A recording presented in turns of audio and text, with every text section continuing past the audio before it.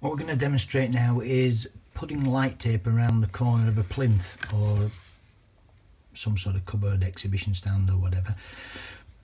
What you've got on light tape is a metal ribbon and we coat that with a phosphor so that when we actually put a current through the metal ribbon the phosphors vibrate that creates the light.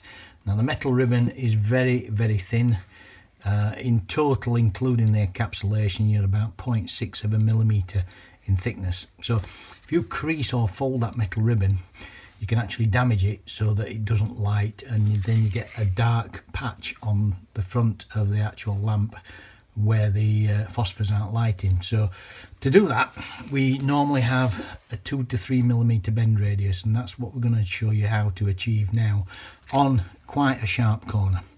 So what I'm going to do is just measure where I want that to be and then we'll peel off the light tape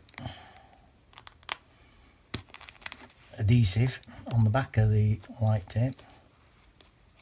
So I've just peeled off the adhesive on the back of the light tape and we're using a 3M 9088 adhesive. Just line it up there. Just stick that into place there we go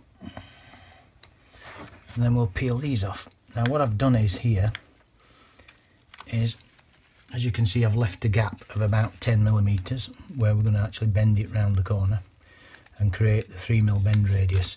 So we'll stick the one side on and then just create a slight bubble there and stick the other on.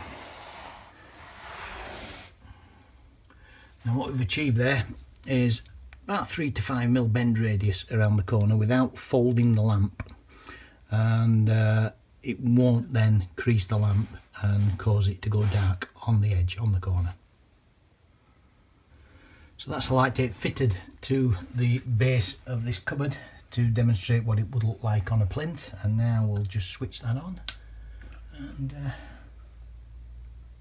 there you'll see the light tape lit on the corner you can actually make that a little bit tighter on the corner.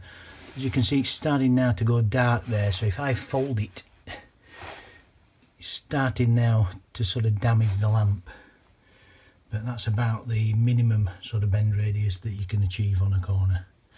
Uh, obviously the same would apply if you're doing it on an internal corner. Keep it to about a 3 mil bend radius